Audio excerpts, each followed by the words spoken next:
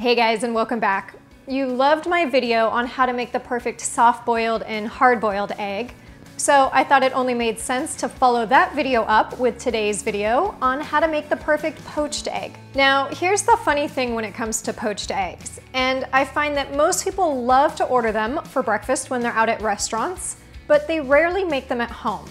And if you ask why, I think most would say that it's hard to get that perfect round spherical egg shape in the poached egg without getting lots of crazy white wispies all over the place. Well, for the last several weeks, which you might have seen on my Instagram stories, I have tried every single egg poaching method under the sun.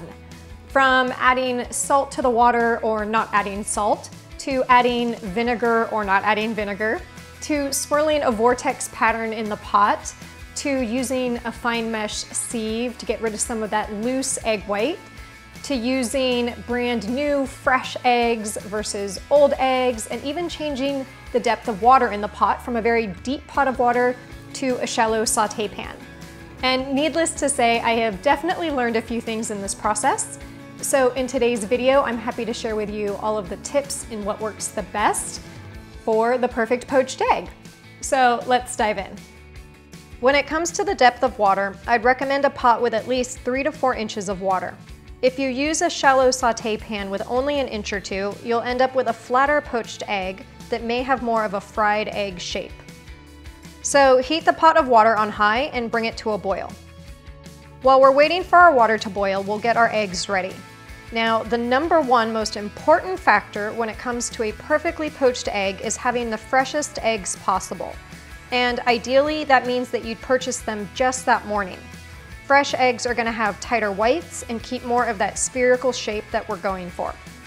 Eggs that have been sitting in your fridge for a week or more, like this one, are gonna have more of that looser, liquidy white, and that's what causes all of those white wispies. But as I know running to the market before breakfast may not be feasible for most, here's what you can do to ensure poached egg success. And you should do this no matter how old your eggs are. Just crack your eggs into a fine mesh sieve, give it a little swirl, and remove that liquidy egg white. And as you can see on this egg, which I just purchased this morning, there's a lot less of that looser egg white than in the previous example. Once all of the very loose egg white has been strained out, transfer your egg to a small bowl or ramekin, as this will make it much easier to pour the egg into our pot of water and repeat this process for as many eggs as you plan to cook.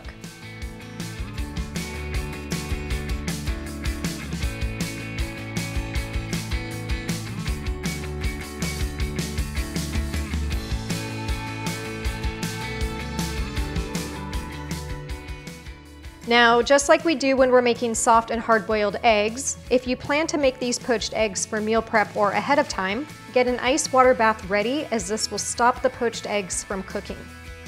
All right, at this point our water should be boiling, so now reduce the heat to low. You just want some slight bubbles on the bottom if any, but no bubbles breaking the surface. Many people say to add salt to the water when you poach eggs, but I found that this actually created more white wispies and splayed the egg white all out. And the reason this happens is because salt changes the density of the water. So definitely don't add salt to the water. But just so you can see what happens with your own eyes, here's an attempted poached egg in salt water, and you can see that it doesn't hold its shape very well.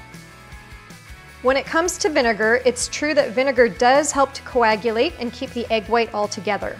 Now, I was against this method at first as I didn't want my eggs to taste like vinegar, but if you use one to two tablespoons, you definitely can't taste it at all. And for the type of vinegar, you can use white vinegar, apple cider vinegar, or any type of lighter colored vinegar. So let's get to poaching some eggs. Add a tablespoon of vinegar to the water, then stir it and create a vortex.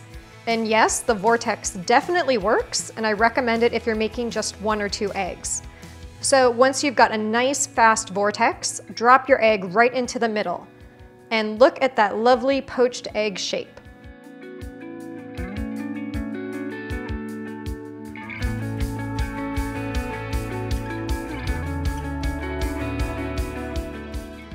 Set your timer for three minutes for a firm white and liquid yolk. If you'd like your yolk a bit firmer, just add another 30 seconds. And once the time is up, use a slotted spoon to remove your beautiful poached egg. You can also give your egg a gentle tap to see how cooked through it is, and place it back in the water if you'd like it a little bit firmer. If it's to your liking, just dab the poached egg on a paper towel to remove any excess water and serve it up. If you're making these for meal prep or to make in advance for a crowd, add the poached egg to your ice water bath, which will ensure the egg yolk stops cooking. And I'll show you in a second how you'll warm it back up later. Now, if you'd like to make several eggs simultaneously without the vortex method, you can do that as well. The shape may be a little flatter, but it's really not a big deal. So gently pour each of your eggs into the water. And on this last egg, you can see that there was a little more liquidy white, but that the main egg shape still held together. You can also use a spoon to move the water and help create a rounder egg shape if you'd like. And when three minutes is up, again, use a slotted spoon to remove your poached eggs.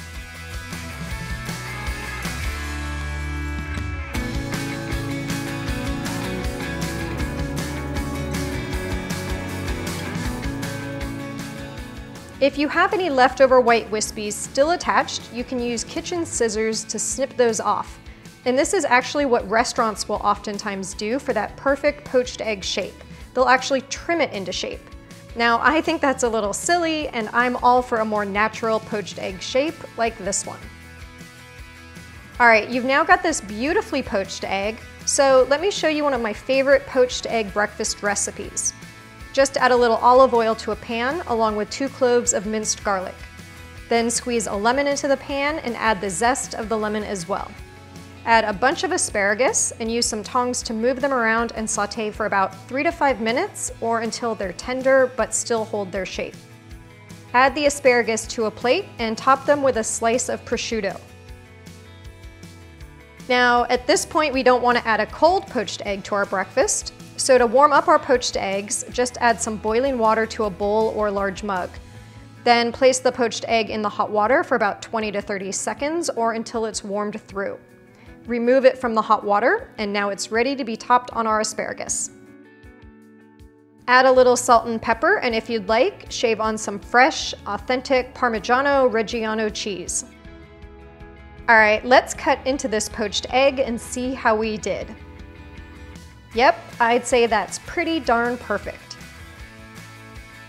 I hope you guys enjoyed this poached egg tutorial, and if you did, hit that thumbs up, and while you're at it, hit that subscribe button below so you don't miss next week's video, and I am now gonna finish enjoying my breakfast.